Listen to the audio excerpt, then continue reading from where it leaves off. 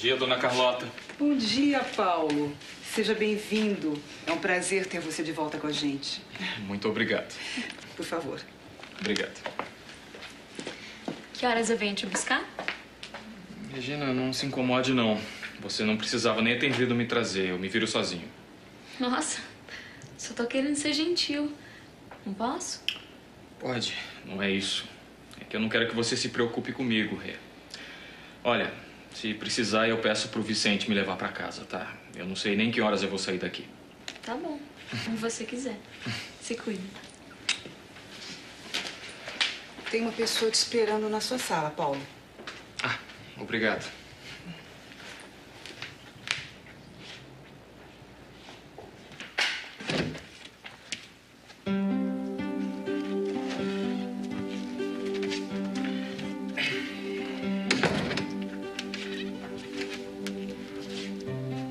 Dia. Bom dia, Paulo. Por que, que o João não veio com você? Porque eu quis vir sozinha. E o que você quer? Eu soube que reiniciaram os trabalhos nas minhas terras e eu queria saber o porquê. Por causa do contrato. Eu já falei disso com a sua mãe. Nós concordamos que o contrato seria rescindido. Eu também falei com ela, Clara. E decidimos que o contrato vai ser cumprido à risca. Eu não quero ter nenhum negócio com a sua usina. Clara, agora, querendo ou não, você vai ter que fazer a sua parte. A usina fez um grande investimento nas suas terras e não queremos mais perder dinheiro. Tá bom.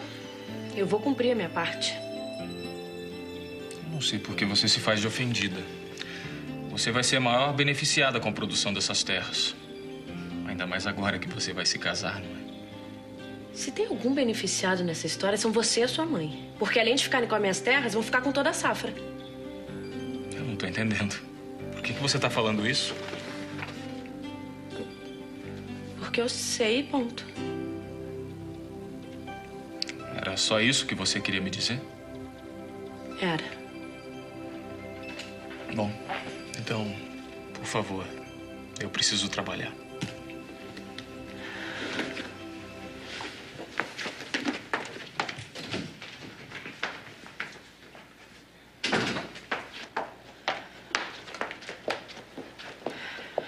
Muito obrigada por tudo, dona Carlota. Por nada. Ai, não sei onde eu tava com a cabeça, esqueci a minha boca. Posso saber o que que você tá fazendo aqui? Eu não tenho que te dar satisfações. Veio falar com o Paulo, né? Sobre o quê?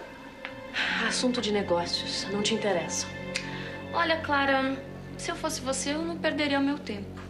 O Paulo não vai mais voltar pra você. E o que, que você tem a ver com isso? Nada. É que agora ele descobriu o tipo de mulher que você é. E ele percebeu que o lugar dele é do meu lado. Não do lado da filha da mulher que matou o pai dele. Isso é pra você aprender a nunca mais falar nada da minha mãe.